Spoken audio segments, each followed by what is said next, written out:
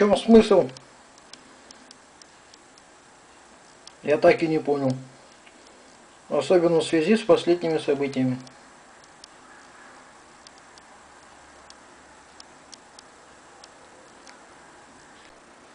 Производитель город Новосибирск.